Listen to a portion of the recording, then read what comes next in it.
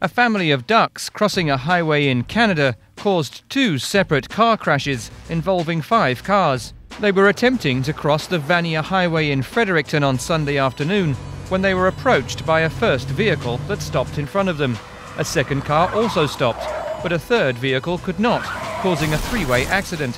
The same family of ducks caused another accident moments later when a vehicle flipped over onto its roof, attempting to swerve out of the way.